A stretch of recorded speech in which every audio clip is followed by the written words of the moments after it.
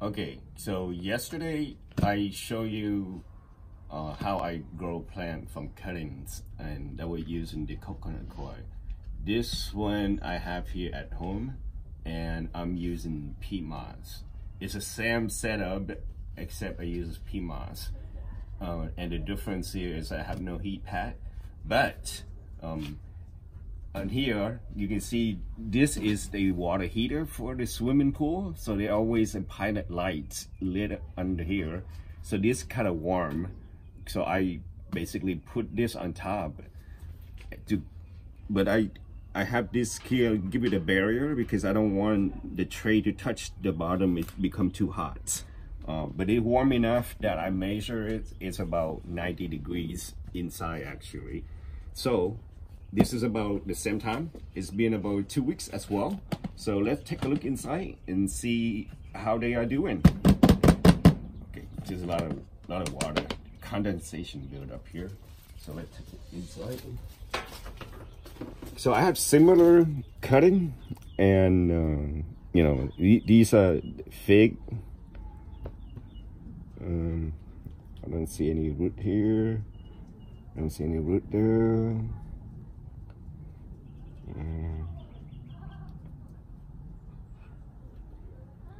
So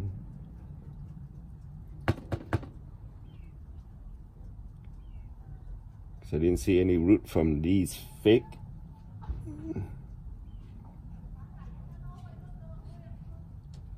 um let's see here.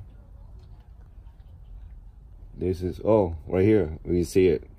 This one has roots you can see this is from another the fig cutting and the roots already come out.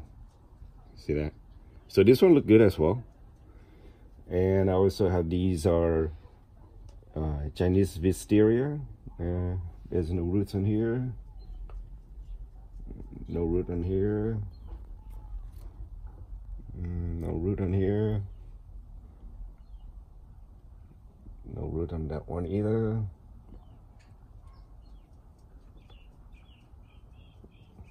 no root on this one either. So uh, this is loquat uh, let's see if there's any root. Okay a loquat you can see here. The, the roots just start coming out. There's no doubt. You see this ton of them gonna come out. It shows sign that yeah right here too as well. You see the close up in here these dot dot here basically indicate where the root's gonna come out. So this one looks pretty promising as well. Yeah, well, no doubt. But you can see, you know, this has been two weeks as well. And and I think the heat pad does make a difference. Oh, wow. These, these, these gonna have tons of roots in a, in a, in a few weeks. Um, so I had a, a Sam cut. This is from a pepper tree and the one that I did, uh, the one I showed you in the, in the other video with the coconut uh, coir, there's a bunch of roots. This one, there's no roots coming out yet. But this one, you know, the difference here, this one doesn't have a heat pad. I just use it outside. I just want to see if it works or not. Um, so this is jujube. Uh, and you can see here, the roots started forming as well. So this one definitely gonna have roots coming out. Um, yeah, we're gonna see right here. It's already forming. So the, the, the you know, roots gonna come out for sure.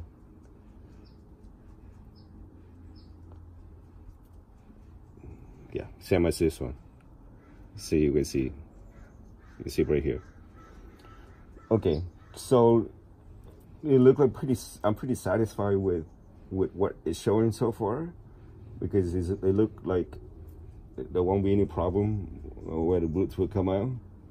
Um, this one, there's nothing. The, this is the orange. Uh, don't see anything yet. This is the same as uh, as the other one. I think orange maybe take longer than two weeks to to have the roots form because the other one I don't see anything either and this is a persimmon. Uh, not seeing any roots either. This is kind of the same with the other one that I see. Yeah, look like persimmon is it's not doing um, well either. Because the other one, I, I didn't see any roots on persimmon either. So, okay. So,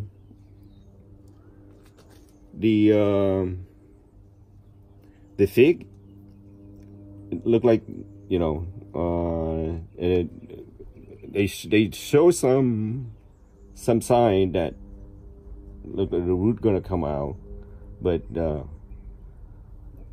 and there's one actually have roots and but the rest is like still waiting for a little longer time I guess.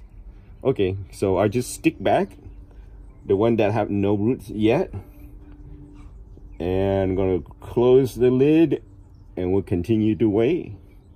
We'll check back maybe a week or two to see how that goes. And that's it. Well thank you for watching. If you have any question put in the comment section and um, I will respond.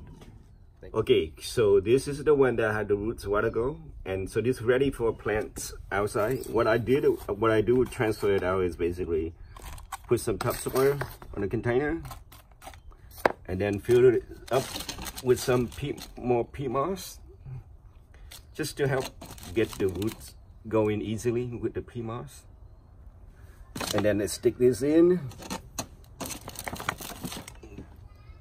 Then I add more peat moss on top here.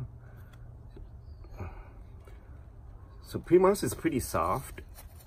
So I'm just gonna fill it up with some topsoil dirt on top just to help stable. Kind of stabilize the the cutting. Then add some water. I don't have to, I, I'm not, I'm not compressing any soil down or anything. I let it loose like that. And that's it. And now I'm gonna put it under the shade, under the tree, um, for a few weeks and let it establish the roots before I move it outside.